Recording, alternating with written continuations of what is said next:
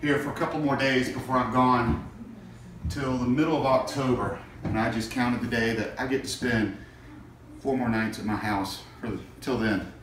So I thought what I'd do today is talk about packing for touring. So you, you definitely got to start with a toothbrush and toothpaste. Razor, cool socks, clean socks, stance. I feel like I'm at Home Shopping Network.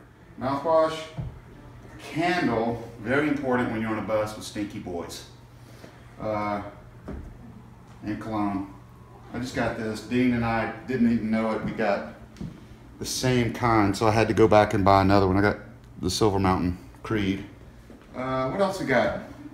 Running shoes, stay in shape. Uh, Mark McNairy, New Republic, just sent me these. Aren't these awesome? Leo, get up here so you can see. Pink suede boots. That's gonna look hot on stage, I think. See the crepe sole. Mark's proud of that. I like that too. Um, and I'm gonna take these just to mess with Will because he wears red shoes, and I just thought I'd get some red shoes to mess with him. Lennon went with me today, and we always get new pillows to get on the bus. He got one too. This is the pillow he picked out, so we sleep good on the bus. You know, I put all my writings and everything in this Colonel Littleton bag right here, which this is one of the coolest things I've ever gotten. I love this. Look at that. It's so well made and it's buffalo hide. It's like a saddle, but it's really cool stuff. I love this. I, I feel like I'm actually a, a writer, an artist, when I write something on paper and put it in my. This is like a briefcase, isn't it? Oh, oh.